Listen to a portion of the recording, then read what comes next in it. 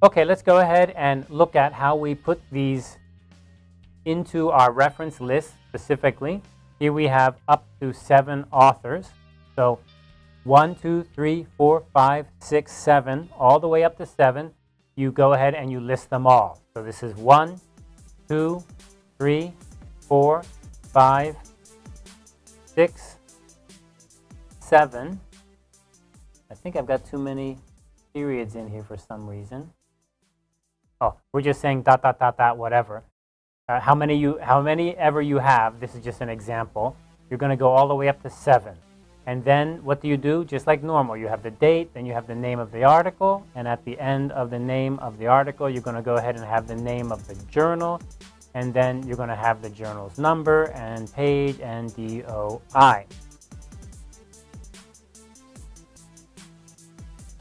In-text parenthetical citation for this. So if you were looking inside your paper, inside the sentence that you wrote inside the paper, this is what it would look like, Gilbert et al. Why is it et al? Because remember in the APA rule, APA guideline, that if you have seven or more, you can go ahead and use the et al. That's different than the MLA, so keep that in mind. A journal article without a DOI, for example, may look something like this.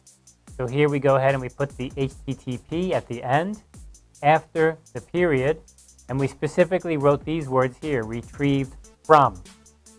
So we go ahead and give the address of the URL. Everything else should stay the same.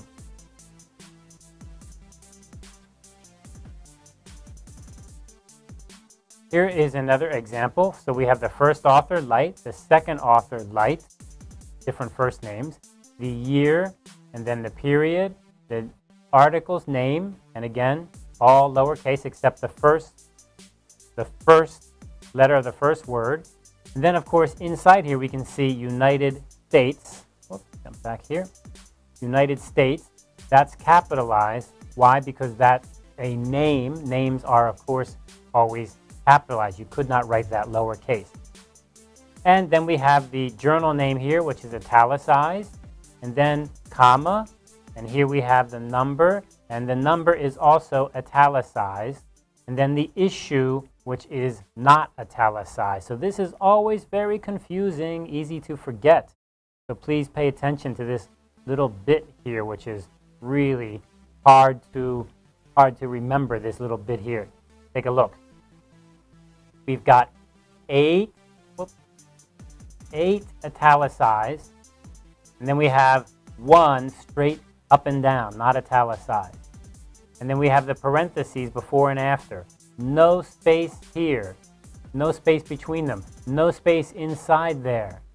Right? This is extremely easy to forget. And my students almost always get this mixed up. Sometimes they have a space, sometimes there's no space, sometimes it's italicized, and the next time it's not italicized. So Let's take a look at that very closely again and make sure we got that. Let me clear this. Okay. The journal's name, comma, space. 8 is italicized. Parentheses, no space. 1 is straight, not italicized. Close parentheses, comma, no space before the comma. After this comma here, there's one space. After this comma here, there's one space.